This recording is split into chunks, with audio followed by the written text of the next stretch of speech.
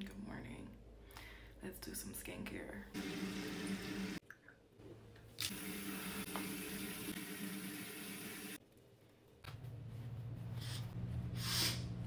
Allergies are kicking my ass.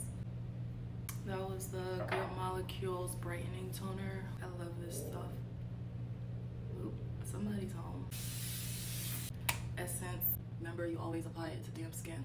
I rub it in evenly just to get it evenly distributed on my face.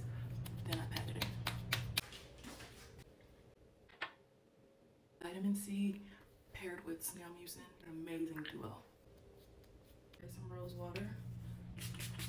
La Roche-Posay hyaluronic acid. My skin loves La Roche-Posay hyaluronic acid. Loves. I love this. Do you need it? No, but I love it. I think you should get it, especially if you have puffiness, bags.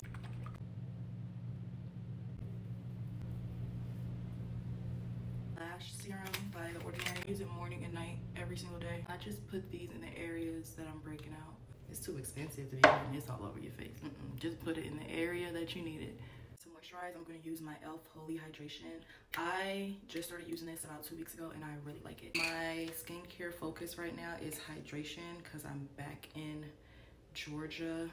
My skin is really dry when I'm here. So all the products that I use are all hydrating products. Sink into my skin for like 15, 20 minutes and then I'm gonna go in with my sunscreen. And that's it for morning skincare. Breakfast just got here, so I'm about to go have some breakfast. When I'm done, I'll follow up with my Black Girl sunscreen. I love this sunscreen. I don't care if it makes me oily. I love it. It's the best sunscreen. You guys have a great day and don't forget I'm giving away a few skincare products. So make sure you go on my page and check it out because you have until 12 p.m. Sunday the 23rd to enter into the giveaway.